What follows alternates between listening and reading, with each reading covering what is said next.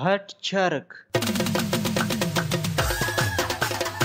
د یو وخت کیسه دی په یو کلی کې د سلطان نوم باندې یو کس وو هغه به ځنګل کې ښکار وکړلو او بیا به کور ته راوړلو سلطان په کلي کې د سلطان ښکري نوم باندې هم مشهور وو کورته چې راغلو نو ښځې به ورته وویلو اے سلطانه ته صرف ښکار د پاره ځې خو څه کار روزګار نه کوي اخر کوم وخت پورې به دغه ښکار کوي لږ ځان ته کار پیدا کا سپر خوړل یا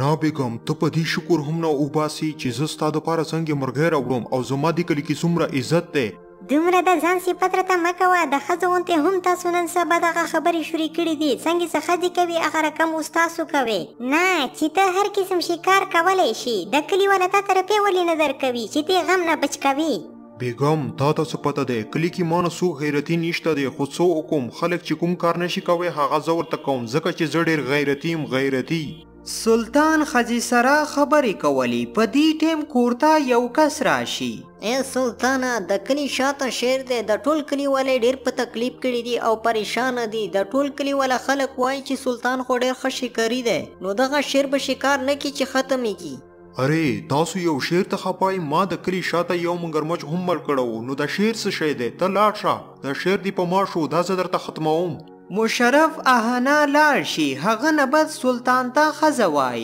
نه سلطانه د کلی والا ته ذمه واری چې ته به دا شیر خلی ته ورته ځان اچوي پریږدوا دا شیر میر خپل کار به کوي بیګم ماته ته څه ویلي وو چې زما نوم سلطان دی ته ګوره چې دغه شعر زه څنګه ختموم د کلي ولسترګو کې به زما عزت نور هم زیات شي هلته کی مشرف عمران شاه ته ورشی. مشرفه څه دی وکړلو سلطان ته دی خبر ورکړلو چی هغه شعر ختم کی. عمران شاه ما خبر ورکړلو خو ماته خو دسی نه ښکاری چی دا به دغه شعر ښکار کی. مشرفه تاته ددی باره کی څه پته دی زمونږ کلی ته یو واری منګرمچ راغلی وو هغه هم سلطان ختم کړو څوک نه وو چی منګرمچ یی مړ کړوه خو سلطان مړ کړلو. څه ووايم عمران شاه زما خو يقين نه راځي خو ځا پته به ولګيږي چي دا رښتيا وايي که دروغ. هلته کې سلطان ګجر ته ورشي. ګجره زمونږ کلي شاته شیر دی هغه لږ ختم که تاته خو پته دی چی شیر تانه خطا څوک نشی ختمولی لکه څنګه د منګرمچ ختم کړو.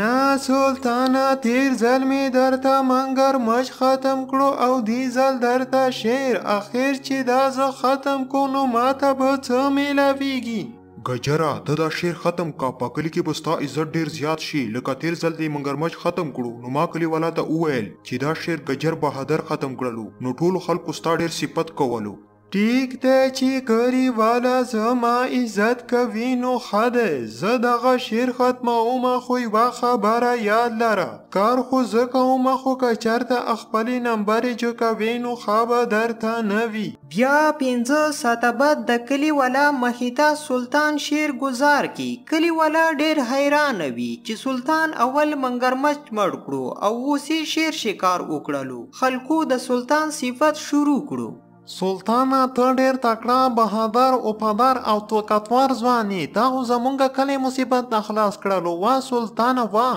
دا خو په ما پرز دی چې زه ستاسو مدد وکوم دا خو شعر دی چې ټایګر راشي هم بیا به هم هغه ته شکست ورکوم تاسو ته خو پته دی سلطانه مونږ ته خو دا پته شته چې ته ډیر بهادر ځوان یې خو نوره پته نشته په مطلب دې پوه نه شوم چې ستا نور څه مطلب و څه په مطلب مې پوه نه شوې نو ځان پوه که زما نوم سلطان دی ځکه خو زه کرونه د سلطنت پله کوم. سلطان به دوی سره مدد کولو خو صرف دنمې دپاره اصل کې دغه مدد هم ګجر کولو خو سلطان به خپله نمه په کېږدوله چې دا کار ما وکړو يوه ورځ سلطان کورکې ناست وي نو خان راشي. سلطانه زما نوم خان دی زه هغه بل کلي نه راغلی يم ستا بهادرۍ کيسې مې ډېرې اورېدلې دي. څه تا زما بهادرۍ کیسې یو بل کلي کې اورېدلې دي رضا کینه کینه زما صفت کوه ته خو ډېر ښه هلک یې چې زما بهادرۍ کیسې دې اورېدلې دي سلطانه ستا صفت زه نه کوم زمونږ ټول کلي والا خلک ستا صفت کوي زمونږ کلي کې چرګه دی هغه ټول خلک پریشانه کړي دي هغه ختمه که ارې دا ته څه بکواس کوې زه به اوس چرګه ختموم دا خو د مشومانو کار دی سلطانه هغه داسې چرګه نه دی ټول کلي والا خلک یې پریشانه کړي دي ته زمونږ کلي ته راشه او هغه چرګه ختمه که. ښه نو تاسو یوه چرګه هم نشئ ختمولی دا خو به زه درته ختمه کوم ته لاړ شه زه درځم. خان اهنا لاړ شي سلطان ته ښځه وايي. سلطانه ته غټ غټ ښکارونه کوي نن د چرګې ښکار وکه او غوښه کور ته لازمي راوړه. بیګم ما تا ته څه ویلي وو چې زما عزت ته ګوره چې څومره زیاتیږي اوس زما نما هر کلي کې خسته شي څه سلطان سلطان سلطان. بیا سلطان اهنه روان شي، په تلو تلو کې یو ځای کې د دمې د پاره کیني او سوچ کوي. دا ښه ده چې ګجر ته مې نه دي ویلي، کني هغه به راسره چرګه شریکوله، د چرګې ښکار خو د ماشومانو کار دی، خو دا پته نشته چې دا کلیواله چرګه ولې نه شي مړ کولی. دې خبرې کولې سره اچنک هغه ته څوګ لګته ورکي او لرې یې ګذار کښي. بیا چې وګوري نو هغه غټ چرګ وي. ارې وای دا څومره غټ چرګ دی یا الله بچ مې که ترنه نو د کلي والا ځکه دا چرګ نه شو مړ کوی دا خو سم ټرک دی سلطانه ګیر بدلوه تښته. سلطان د چرګ لیدو سره واپس کلي پلا په منډو شي. په لاره کې ورته عمران شاه او مشرف راشي. ای سلطانه ولې په منډو یې ته خو هغه چرګ مړکولې دوپاره کلي ته روان وې نو واپس ولې راغللې خیر خو دی؟ خیر چرته دی عمران شاه هغه چرګ راپسې دی ورنه بچ مې کې مړکوي مې ما پسې وروسته وروسته دی. څه؟ ته یو چرګ نه ډاریږي؟ ددی مطلب دا دی چی تا شیر او منګرمچ ښکار هم نه ده کړه ځکه چی ته یو چرګ نه ډاریږي. عمران شاه زما دی پلار توبه وی چی زه به بیا خلکو ته ځان نه ښیم چی زه دومره طقتور یم ځکه چی زه نن د مرغ خولی نه بچ شولم وای. دوستانو دی ویډیو نه مونږ ته دغه سبق میلاویږی نن سبا کی خلک دنیکی کار ددی دپاره کوی که چرته زما عزت او نما پیدا شی. مونږ د نیکۍ کار د الله رضا دپاره نه کوو، هم ځان خطرې کې اچوو او هم څه درنه جوړ نه شي، نو بیا ددې کار څه فایده چې مونږ دغه کار کوو. دا خبره یاد لرئ، اراده غټه کوئ، کار لږ کوئ، خو د الله رضا دپاره. زما ولا چرګه. د یو وخت خبره دی په یو کلی کې د سلطان نوم باندې یو کس وو هغه سره یوه چرګه هم وه سلطان اهې چرګې سره ډیره مینه کوله سلطان خدای په خود د هې چرګې نه خلاص کا ټول ورځ در سره لاس کې وي پرېږده ولاړ شه په ټیکي لږ کار وکړه امین امین تا د خدای پاک دغه کټ نه خلاص کا چې کوم کې ته ناست یې نه ته زما چرګې نه روزانه وې هم خورې او ښیرې هم ورته کوي دا کوم کتاب کې راغلي دي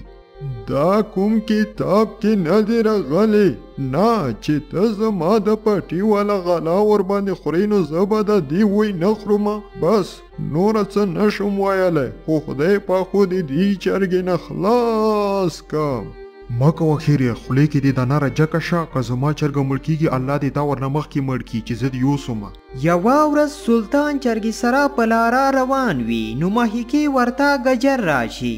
اره سلطانه چرته رواني چرګه هم در سره د لاس کې خیر خو دی ګجره خیر چرته دی زما پلار نن دی چرکی ته ډیری ښیری اوکړلی زه خپه یم چی چرته څه ورباندی اونشی ځکه می بهر روبسلی دی. ښه نو ته دی چرګی ته خفه یی ما ویل چی دومره فکر د څه د فاره کوی ته دا چرګه ډاکټر ته بوزه چی ستانه ورته ووایی.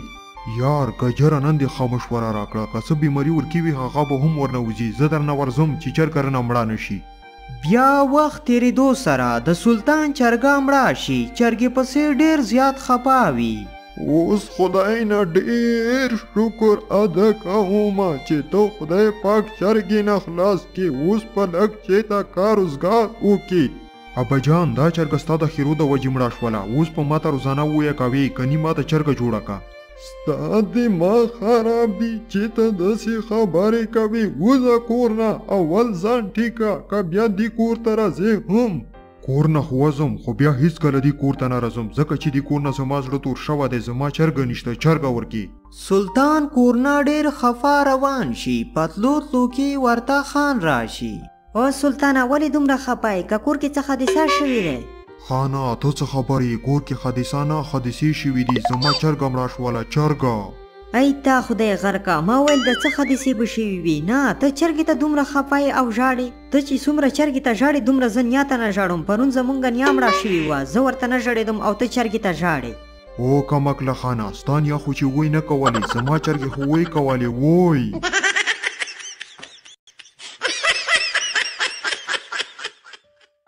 بس دوستانو که تاسو دغه ویډیو خوښه شوي وي نو دا در سره لایک او چینل در سره سبسکرایب کې بلې ویډیو راتلو پرې د لوی الله په امان